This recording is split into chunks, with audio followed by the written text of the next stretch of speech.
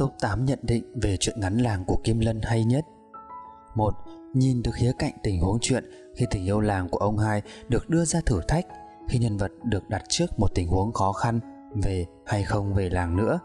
Đó có thể chưa phải là một lựa chọn sinh tử, nhưng với ông hai đó là một lựa chọn vô cùng khó khăn đau đớn. Phần chính của câu chuyện tập trung vào cuộc đấu tranh trong nội tâm nhân vật. Nhìn từ khía cạnh đó, làng có thể coi là một câu chuyện tâm lý và thành công của chuyện chủ yếu là nhờ vào tài miêu tả tâm lý nhân vật của Kim Lân. 2. Tên truyện đặt gọn chỉ có một chữ làng.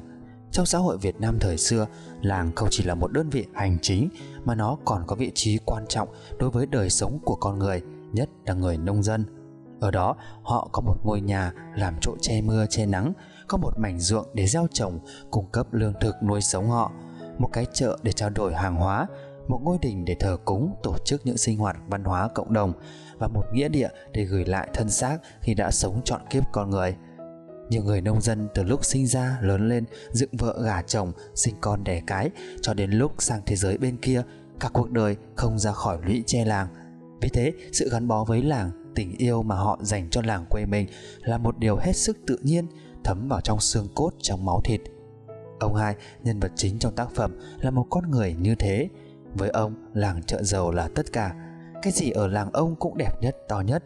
Ông say mê nói về làng của mình, không bỏ lỡ bất cứ một cơ hội nào để khoe với người thiên hạ về làng của mình. Ông nói mà không cần biết người khác có chú ý nghe hay không. Ông nói chỉ cốt thỏa mãn tình cảm của bản thân mình. Thế nên chuyện ngắn làng trước hết và trên hết là một câu chuyện về tình yêu làng, tình yêu quê hương đất nước của người nông dân Việt Nam.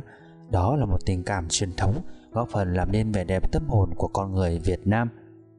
3. Cái làng đối với người nông dân, đặc biệt ở vùng Bắc Bộ, có một ý nghĩa cực kỳ quan trọng trong đời sống vật chất và tinh thần của họ. Nó gắn bó thân thiết với họ hàng ngày và suốt cả cuộc đời, cả đến khi giã từ cuộc đời. Vì thế, từ bao lâu nay, lòng yêu làng quê đã trở thành một tình cảm tự nhiên sâu nặng, hơn nữa đã thấm sâu vào tâm thức, tâm linh của người dân quê. Làng là nơi tổ tiên ông bà ta từng sinh sống, là môi trường sinh hoạt, là cộng đồng gắn kết trong phong tục tập quán, quy ước, truyền từ đời này sang đời khác. 4.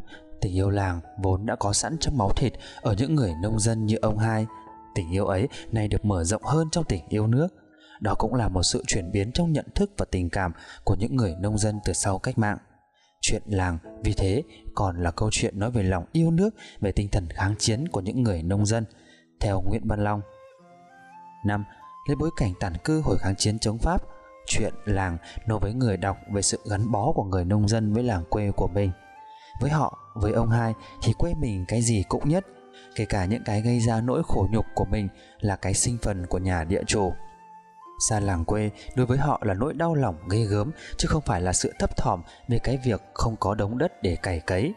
Thế nhưng tàn cơ là không hợp tác với giặc, là hành động chống Pháp nên họ chẳng tử nan. Chuyện làng cho ta thấy được một sự chuyển hóa từ lòng yêu làng quê tha thiết, đắm đuối trở thành tình yêu nước, yêu quý sự nghiệp cách mạng và kháng chiến ở người nông dân.